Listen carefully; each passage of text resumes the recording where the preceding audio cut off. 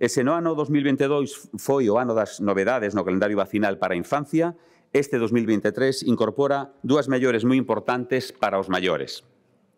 A partir de suño, a Xunta a administrar a vacina contra o herpes zoster, en este caso por grupos de idade. Ata agora só se administraba, como saben, a determinados grupos de risco e agora imos ampliála comenzando este ano polos maiores de 65 e 80 anos.